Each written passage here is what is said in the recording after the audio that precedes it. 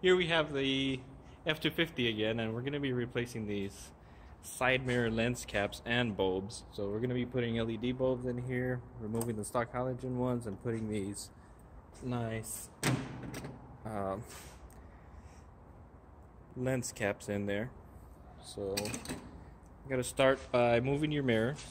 So now, let me see if I can get the reflection right. There we go. So you're to want to move the mirror in towards you. And then I already started clicking and then up.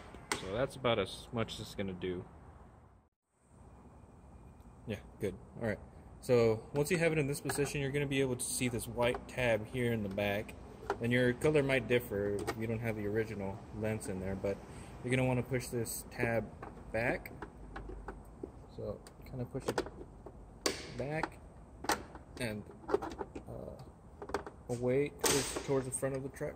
So you kind of push it out and out comes the lens. And then after that, just twist counterclockwise on both bulbs to get them out. And remember the orientation. Uh, this top one is your turn signal bulb. Come on.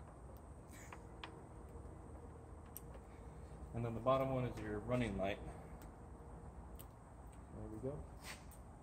And again, I'm going to be using the JDM Amber LED bulbs. So non-polarized, so just kind of put them in there.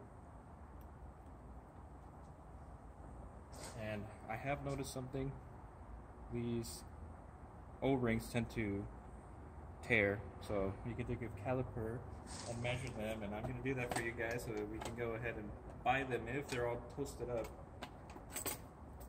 So, see this guy. This one's already kind of broken, so you can see see how it's all cracked up.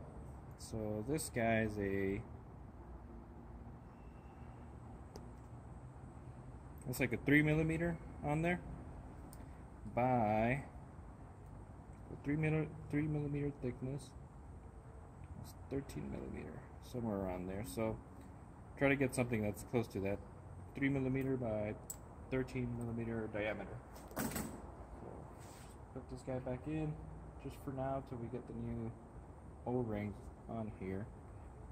Uh, you don't want to run them without them because uh, your housing will not be waterproof. Kind of put this guy back in. Twist clockwise. And if you try and put the bulb in uh, in the socket and it doesn't stay in there, you're probably missing the O-ring. You have to get a new one. So get that in there. Now that it's in, all you have to do is just put it back in there. So click in place. There we go. Now unlock this and let's look at those lights on there. Yep. So it was that easy.